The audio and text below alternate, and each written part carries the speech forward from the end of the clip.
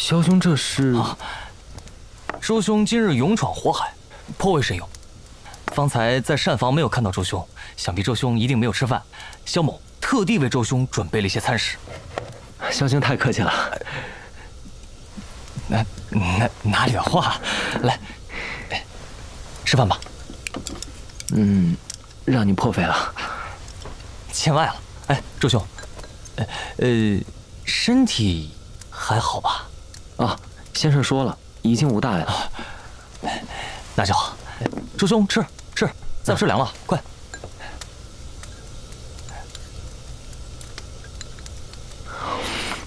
嗯，这菜真不错。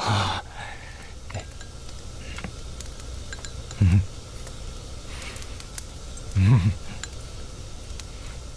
方才我听说萧兄被罚去修补袍屋啊。哦，是啊。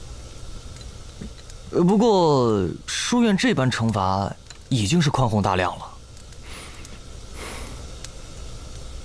修补袍屋并非易事，萧兄还需要待客，一个人修补是否有些许困难？呃，书院罚我修房，呃，但是。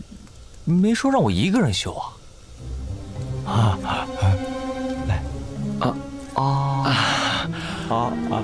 嗯。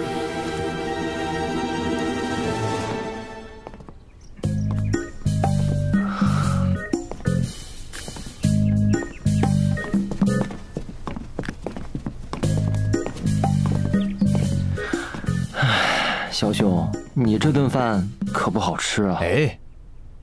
我们兄弟之间就不聊这个了。就算我不请你吃饭，你也会帮我的，对不对？